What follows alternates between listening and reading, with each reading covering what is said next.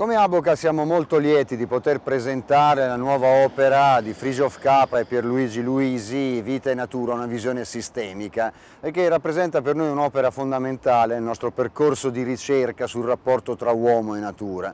Siamo particolarmente lieti di farlo oggi qui al Museo, al Museo della Scienza eh, di Trento, perché in realtà questo libro rappresenta per noi un passaggio fondamentale nella storia della scienza, in quanto riprende e riporta verso il futuro l'evoluzione della scienza d'avanguardia degli ultimi 30 anni e per questo crediamo che questa sia la location migliore dove aprire il nostro dibattito. Siamo qui in realtà per eh, festeggiare la nascita di questa creatura che è un, è un grande libro, è un grande libro che può essere letto praticamente da chiunque, e da persone con gli interessi più disparati. È un libro grande ma è un grande libro, ecco, tutte e due le cose insieme, è uno di quei libri summa che sistemano tanti aspetti del nostro pensiero, di nozioni magari scomposte che abbiamo e creano un, un percorso, una traiettoria. È un libro meraviglioso anche perché prima ancora di cominciare, proprio nell'introduzione, prima di entrare nel, nel vivo di una serie di, di, di disamine, di esposizioni, di racconti storici e poi di proposte, dice la soluzione c'è. Ecco, in questo momento qui sentirsi dire, prima ancora di cominciare a leggere e a parlare, la soluzione c'è, la soluzione ovviamente per tutti i grandi problemi che sappiamo circondarci, è ovviamente una cosa positiva, ma forse ancora più interessante e addirittura entusiasmante la frase che segue. La soluzione c'è, ma bisogna cambiare sguardo. Ecco, come bisogna cambiare sguardo? Che tipo di visione bisogna immaginare? Quanto bisogna smuovere la propria fantasia, l'immaginazione, ribaltare i pregiudizi, cambiare le proprie conoscenze? Tutto questo viene ovviamente esposto nel corso del libro, che è un libro che parla apparentemente di tutto, parla di, di Einstein e del bonobo, parla di, di, di, fisica o di biologia e poi arriva fino all'ecologia, arriva a proposte concrete, parla moltissimo della bellezza. Ecco. Um, tutto questo, di tutto questo questa sera avrete ovviamente soltanto un, un assaggio, ma Credo, sono sicura che sarà un assaggio che poi vi porterà invece a leggerlo. Ho visto che qualcuno l'ha già fatto. Allora io inviterei a salire su questo palcoscenico il professor Fricio Capra e il professor Pierluigi Luisi. Buonasera. Accomodatevi. Buonasera.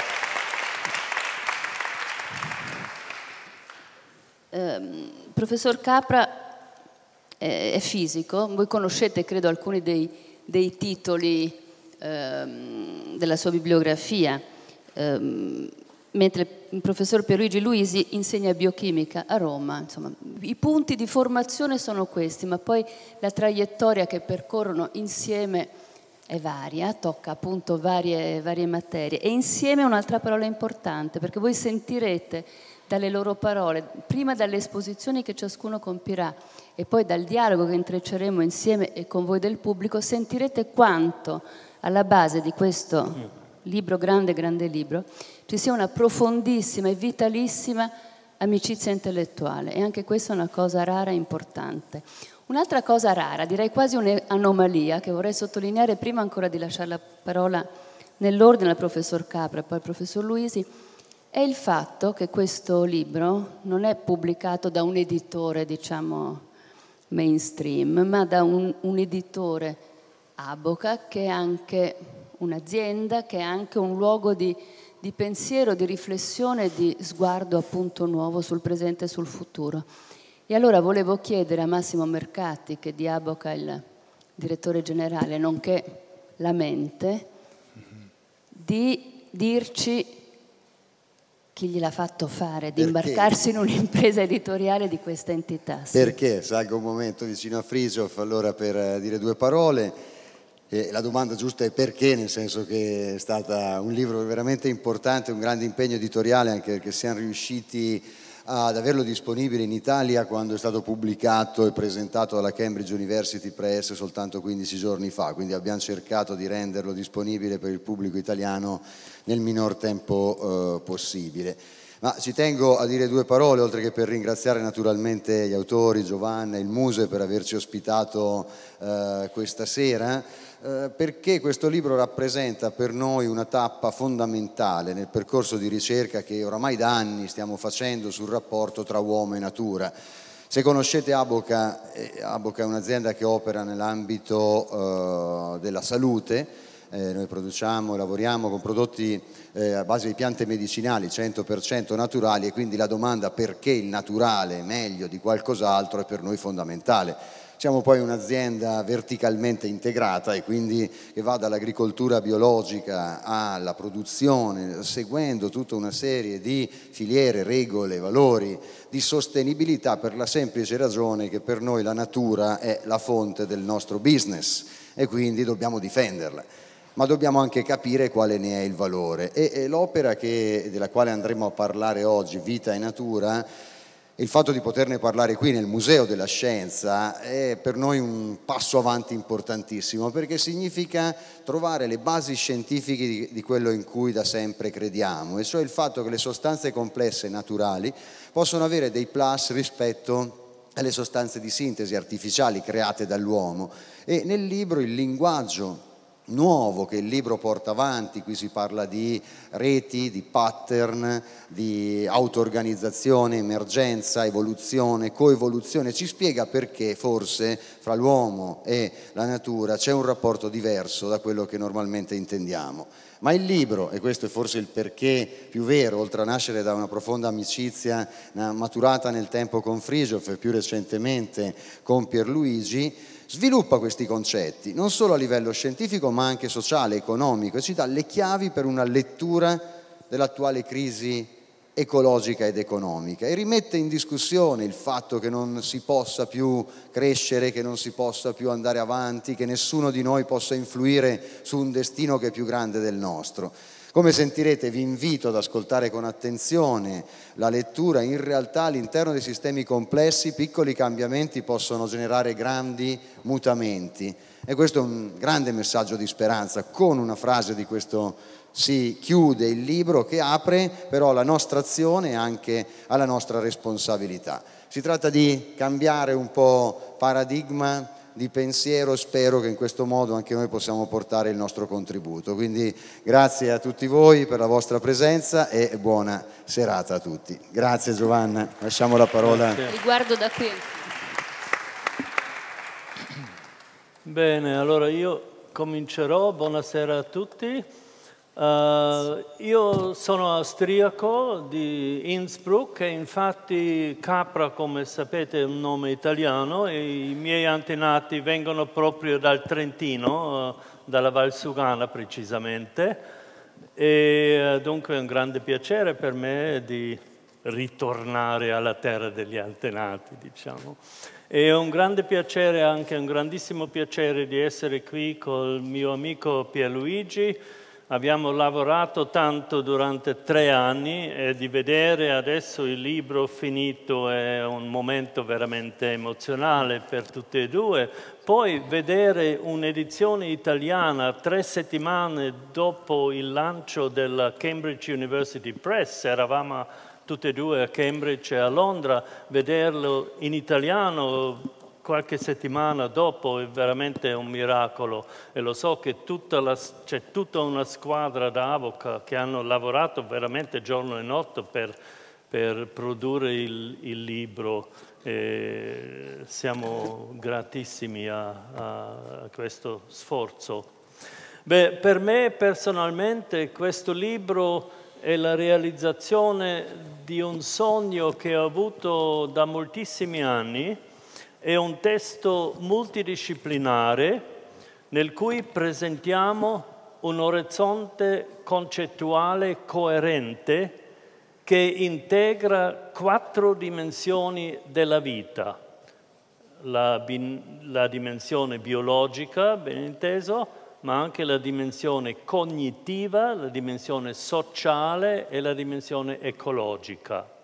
e poi discutiamo le implicazioni filosofiche, sociali e politiche di questa visione integrante.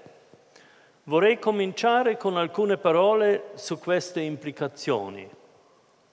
La grande sfida del nostro tempo è ricostruire e mantenere comunità sostenibili. In una comunità sostenibile non va sostenuta la crescita economica o un vantaggio competitivo, cose così, ma va sostenuta l'intera rete della vita dalla, della quale dipende la nostra sopravvivenza a lungo termine. In altre parole, una comunità sostenibile è progettata in modo tale che il suo stile di vita, le sue imprese, l'economia, le strutture fisiche e la tecnologia non interferiscano con la capacità insita nella natura di sostenere la vita. E per fare quello, ben inteso, bisogna prima sapere come la natura sostiene la vita. Così si scopre una concezione, una concezione della vita completamente nuova. Infatti questa nuova concezione della vita si è formata durante gli ultimi 30 anni, più o meno.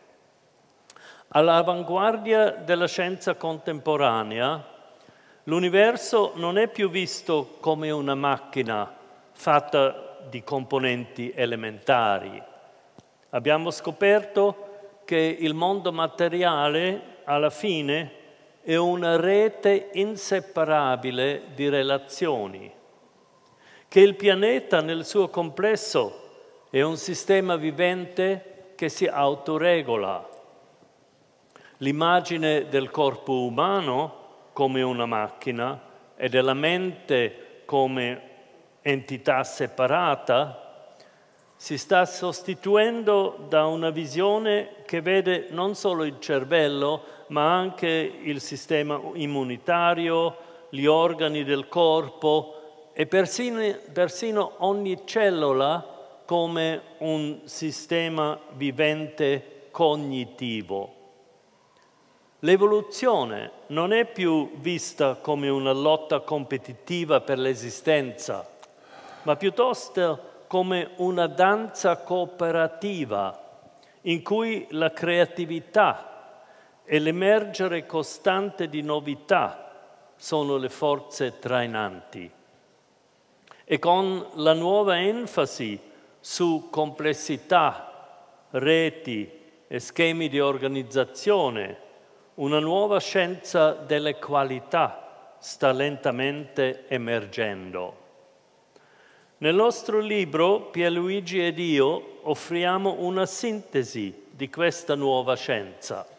La chiamiamo la visione sistemica della vita perché coinvolge un nuovo modo sistemico di pensare. Vuol dire pensare in termini di relazioni, di schemi, di contesto.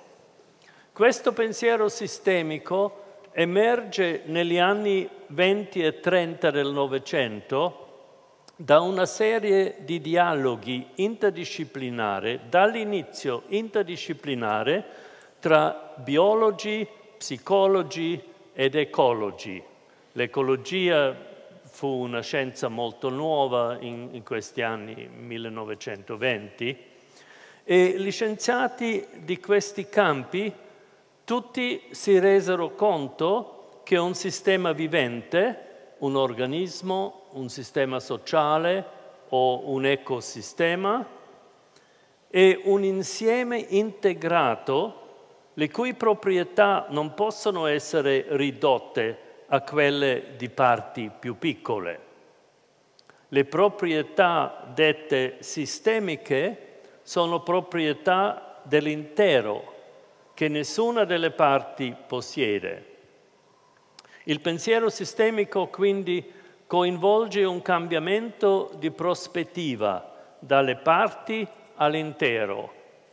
I primi pensatori sistemici formularono questa comprensione con l'asserzione adesso famosa e ben conosciuta, l'intero è più della somma delle sue parti. La teoria sistemica ci dice anche che tutti i sistemi viventi condividono una serie di proprietà e di principi di organizzazione.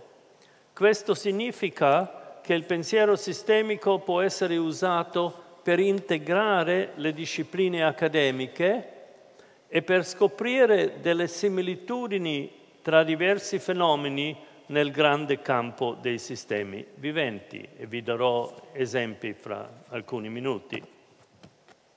Allora, durante gli anni 70 e 80, il pensiero sistemico si è elevato a un nuovo livello con lo sviluppo della teoria della complessità, nota in linguaggio tecnico come dinamica non lineare. È una teoria matematica che ci permette per la prima volta di eh, modellare e di, di capire sistemi non lineari molti, molto complessi.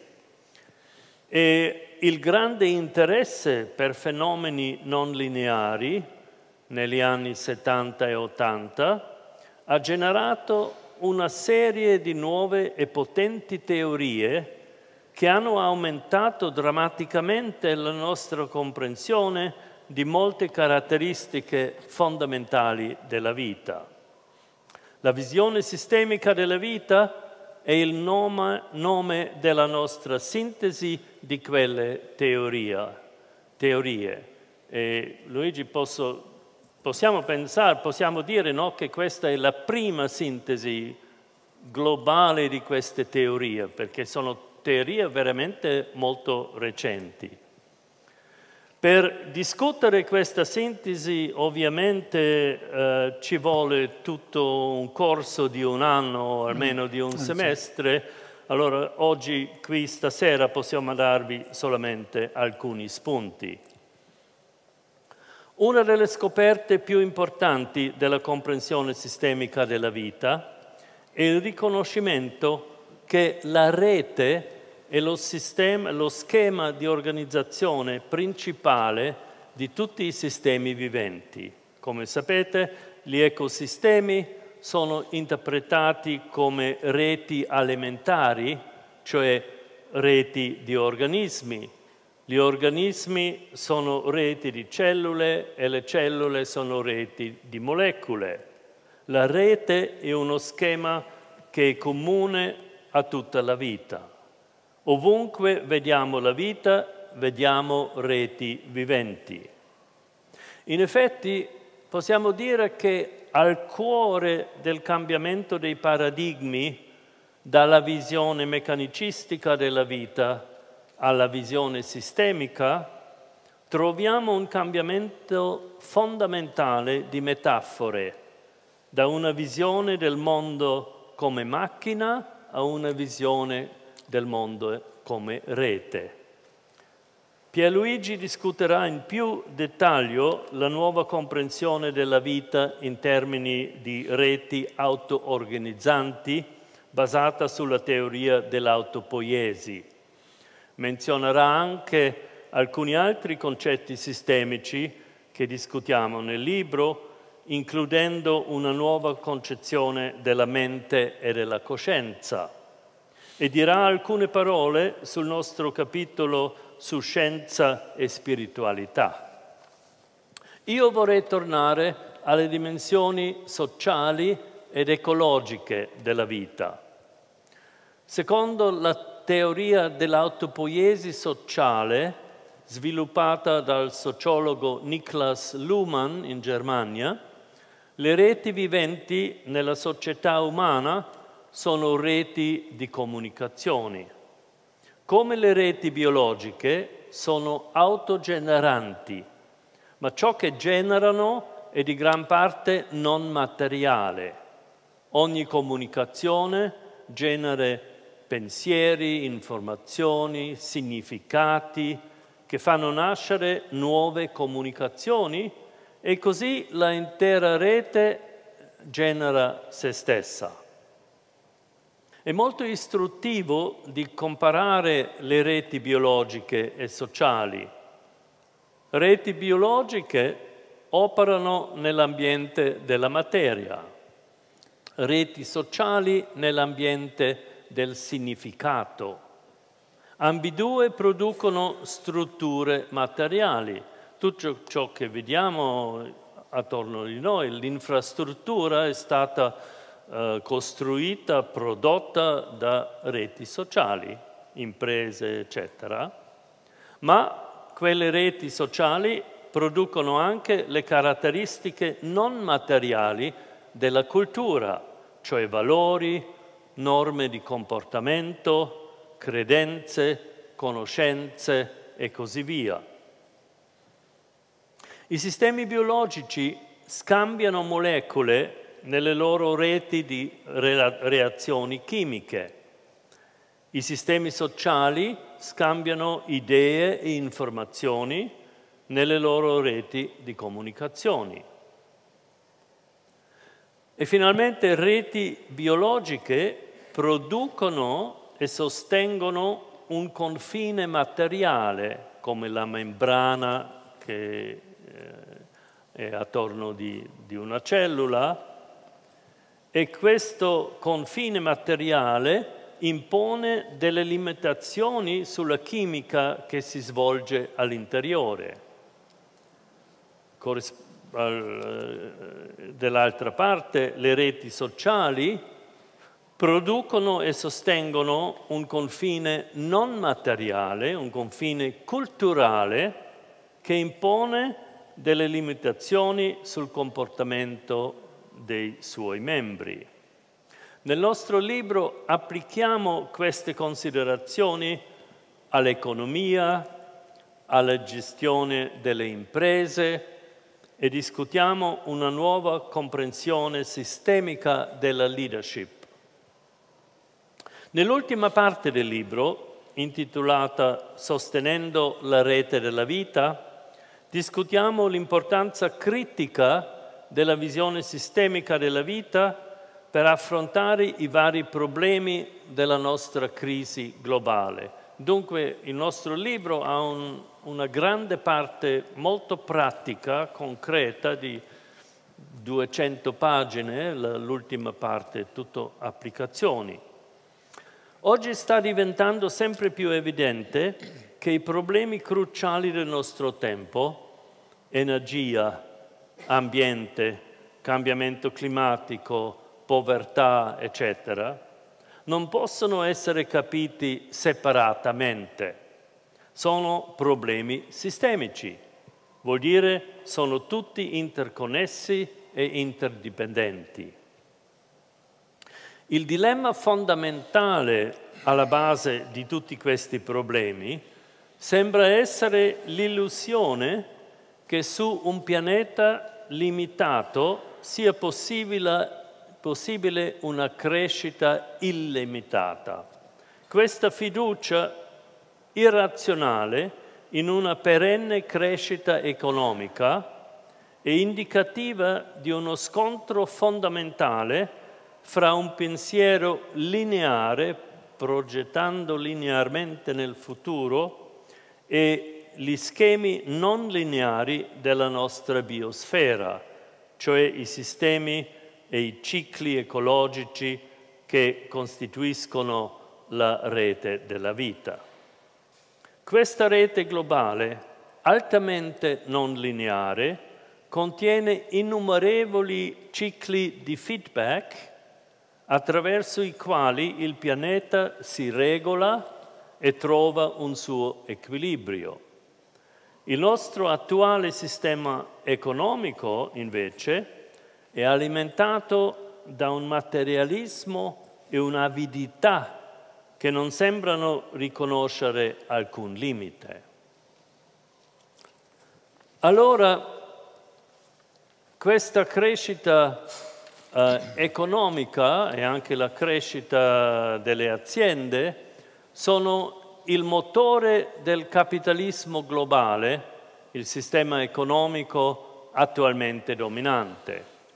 Al centro dell'economia globale vi è una rete di flussi finanziari priva di qualsiasi impostazione etica.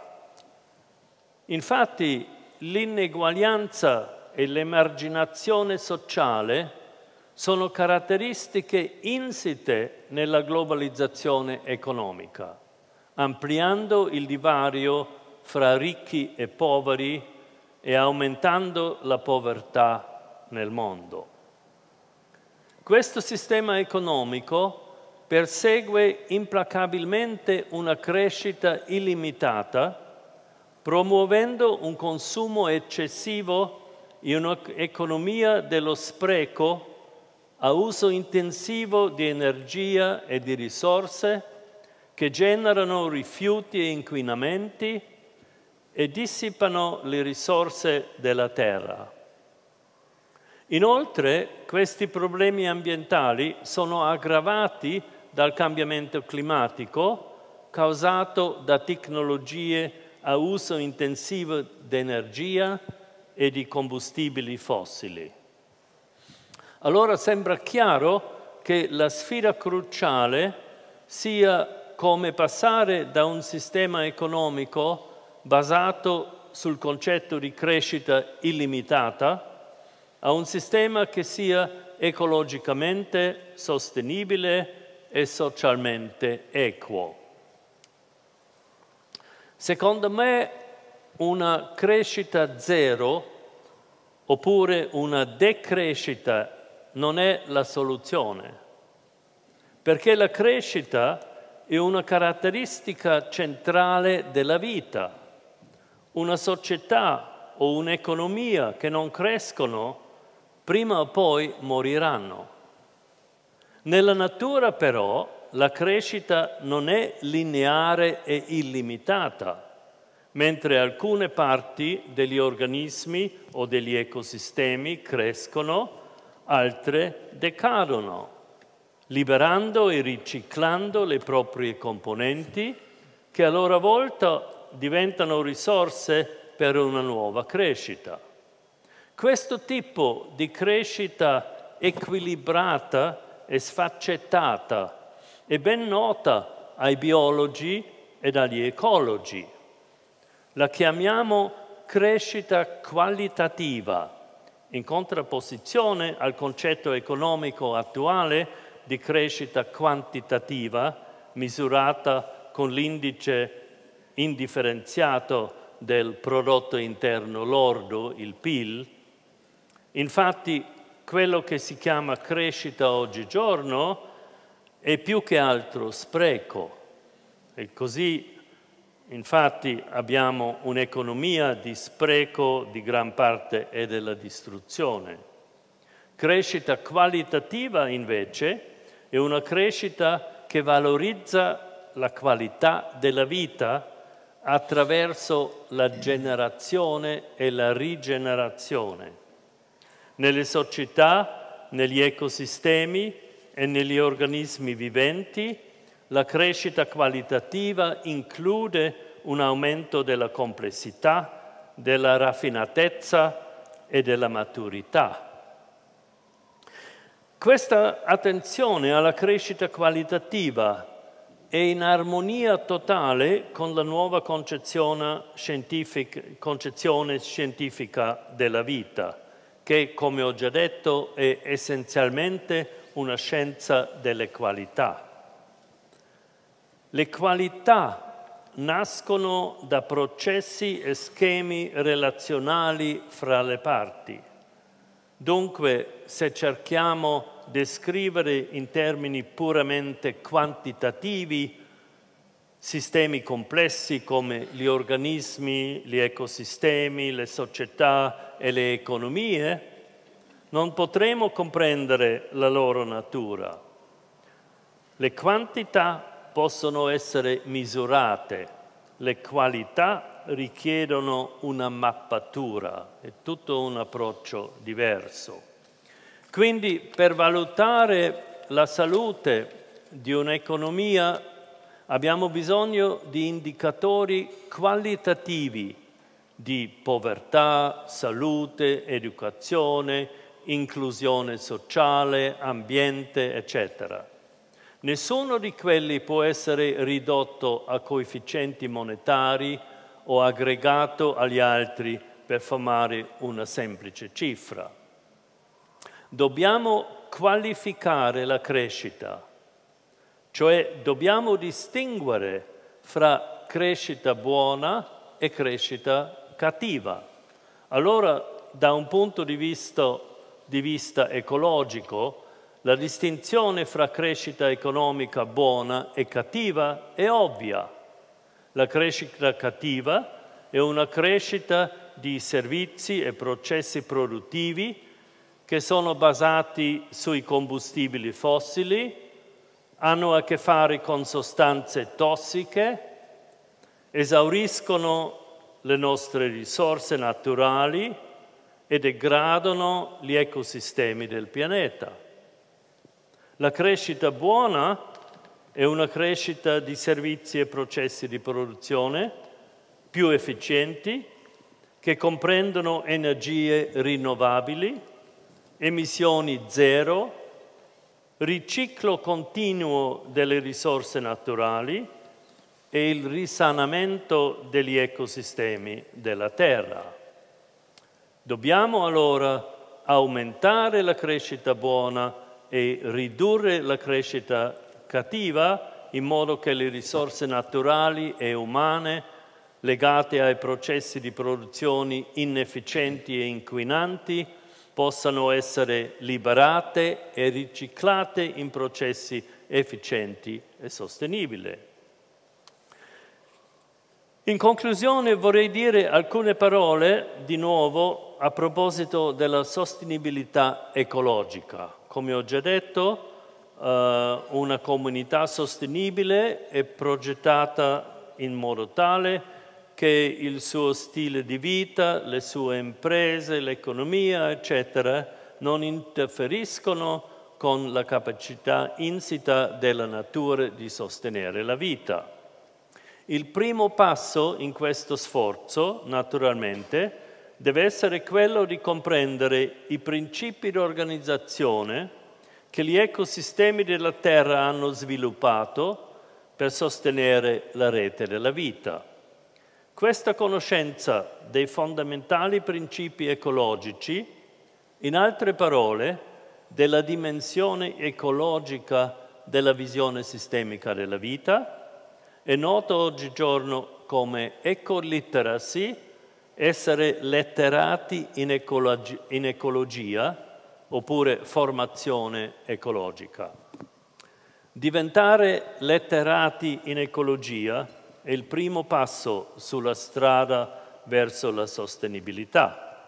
Il secondo passo è l'ecodesign, ossia la progettazione ecologica.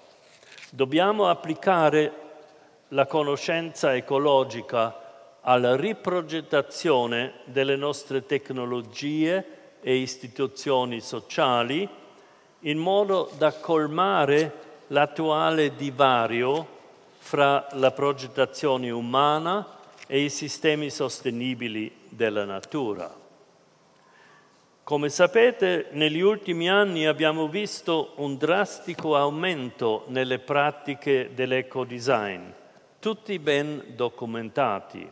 Nel nostro libro presentiamo un riassunto abbastanza dettagliato di queste pratiche e concludiamo che l'attuale rivoluzione, rivoluzione dell'ecodesign rende evidente che la formazione ecologica e la visione sistemica della vita ci danno le conoscenze e le tecnologie per creare un futuro sostenibile. Dunque, come ha detto Giovanni, ci sono soluzioni. Quello che ci serve è la volontà politica e la leadership. Allora vorrei dare la parola a Pierluigi per discutere di più la dimensione biologica e la dimensione cognitiva di questa visione sistemica. Grazie della vostra attenzione.